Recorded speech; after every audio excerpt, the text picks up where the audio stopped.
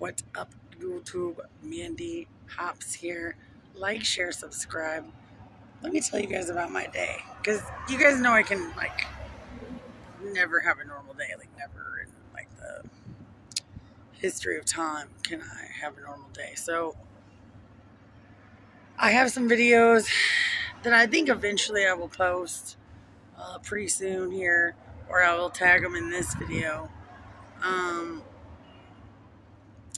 I decided to get out and kind of see some of the street hustles of Vegas. Those are, there's a lot of street hustles in Vegas, but there's legal hustles. So I got out a little early and uh, we took the scooters out, like our rascals, you know. The stuff all the people, fat people at Walmart ride around. If they just walked around Walmart, they wouldn't be fat. Don't hate. Y'all know I'm telling the truth. But anyway, so I do that, and uh, things went awry. The guy who owns the scooters fell out like stone cold, like like was having a heat stroke, some kind of stroke. Okay, that's all I'm gonna say. Um, we're just gonna call him Scooter. That's his name. Right now, Boston's calling me. He's probably watching me because he works about a block away from me at times. But um, I've had a really bad day. So we get this fella like a couple miles down the strip, and like literally he stops breathing. So I'm like giving him CPR and shit, and um, his old lady comes up, and all of a sudden she's worried about the scooters. I'm like, dude, your old man just died. Like I was just, and I'll give you guys a little trick because I used to be a lifeguard and stuff if you ever have to do CPR, it's the same compression as the Bee Gees staying alive. Uh, uh, uh, uh, staying alive, staying alive. And then I was trying to put mouth to mouth off to the last second because that's just awkward, right?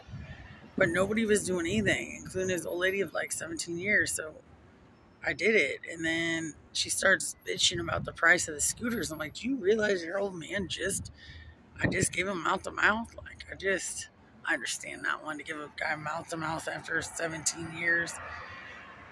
Now that I sit back in the hot breeze, the summer breeze, I can kind of get it. But I was like, man, like literally, I was like, why does it look like I cared more about him than you? And then I come to this eternal day of bullshit. On one hand, like I'm always in paradise, but on the other hand, I'm like thinking, should I go back to Missouri? Fuck, maybe I should even start a garden. Like that's how fucking weird shit got out here that I might even want to start a garden. Should I go back, save my money? I don't even care at this point if I live in my car. But I really don't want to leave my landlord, and I don't until my landlord leaves me. Like, let's put it that way. Like, I got a great deal out here in paradise. Maybe I just need to get my shit together more. And I do, and it's called Murphy's Law. They always said this to me at my last job Murphy's Law. Murphy's Law is, you know, when you're trying to get shit together, everything goes awry, basically. I mean, I could Google the real definition. What goes up must come down. Y'all know that. Um, so, like, literally, at the time of my life when I'm trying to get my shit together the hardest, I'm having the hardest problems. But you guys, most of you have been with me the whole way, and you know we'll figure out a way. But I'm starting to wonder okay, so I really fell in love, like for real, and nothing's getting easier. so I'm like, should I just leave here? It's not that I'm running. Nobody could make me run. My gym teacher couldn't make me run. Vegas sure the hell won't. But like, I'm really thinking about running, like just leaving sometimes.